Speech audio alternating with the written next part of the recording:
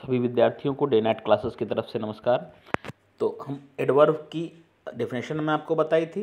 अब हम एडवर्व की कुछ इरर, एडवर्व बेस्ड इरर बताएँगे आपको।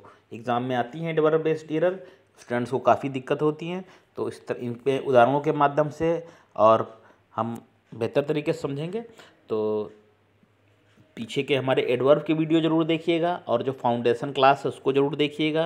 वीडियो को शेयर करिएगा हम्म, ताकि उत्साह हमारा बना रहे ताकि हम जो पढ़ा रहे हैं उसको अच्छे तरह से हम चलिए हम समझेंगे उदाहरणों के माध्यम से। देखिए क्या है। सब में हमने आपको बता दें कि गलती जो है वो एडवर्व की ही है। अब आपको बताना है कहाँ पर गलती है। पहला वाक्य दिया है एडवर्व की गलती है। बताइए कहाँ पर गलतियाँ हैं मिस्टेक कहाँ पर है इरर कहाँ पर है? Spot the error I was in Delhi last month I never met him किस पार्ट में इरर है?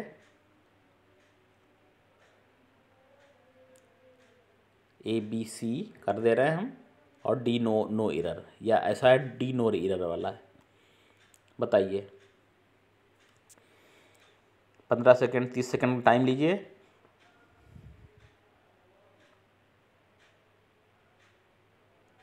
देखिए, इस वाक्य में क्या है? इस वाक्य में हमने आपको बताया भी उदाहरण, कि यद्यपि मैं दिल्ली में था, फिर भी मैं उससे नहीं मिला। आप, हमने बताया डिड नाट या डू नाट का प्रयोग, के स्थान पर आप नेवर का प्रयोग नहीं करेंगे। तो यहाँ क्या होगा? I did not meet him क्या होगा? I did not meet him यद्यपि हम दिल्ली में थे, फिर भी हम उससे नहीं मिले। फिर भी हम उससे कभी नहीं मिले। ये सेंस वाक्य के हिसाब से सही नहीं है।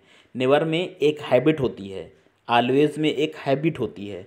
तो ये नेवर और ऑलवेज का प्रयोग उसी हैबिट के अंतर्गत करते हैं।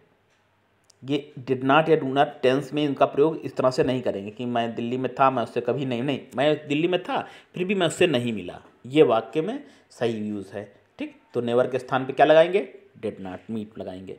चलिए, दूसरा वाक्य है। दूसरे वाक्य में इरर बताइए। सेकेंड नंबर में one should face the misfortune of life manly कहाँ पे इरर है?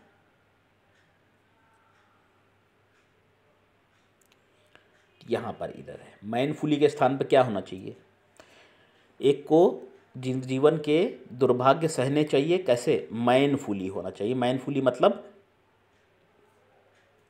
शक्तिशाली रूप से या कि पुरुषत्व के रूप में मतलब शक्तिशाली रूप से, ठीक?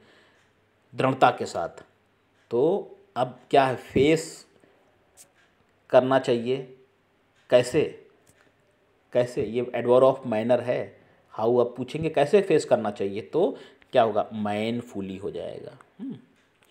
हिम्मत के साथ, जिसे आप कहे हुए है ना? मैन फुली हो जाएगा। मैन मैन का अगर पूछा जाए एडवर्व क्या होगा? तो मैनली नहीं होगा।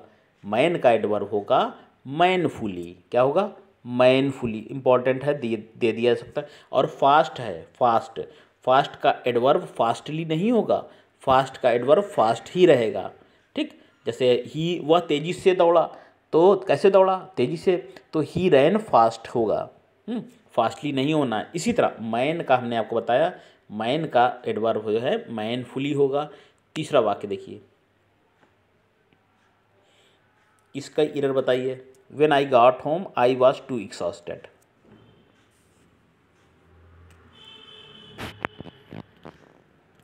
जब मैं घर पहुँचा तो मैं बहुत ज़्यादा क्या था? थका हुआ था।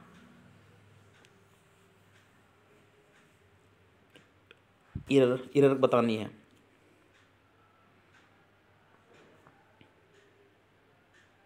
इरर यहाँ पर है। टू एग्जॉस्टेड है ना? तो इसके साथ आपको प्रयोग करना है, आपको मच का प्रयोग करेंगे, ठीक? मच का प्रयोग आपको करना है।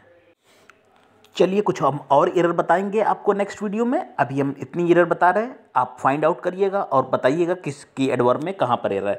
चलिए फिर मिलते हैं कुछ और ही अच्छे उदाहरण के साथ नेक्स्ट वीडियो में।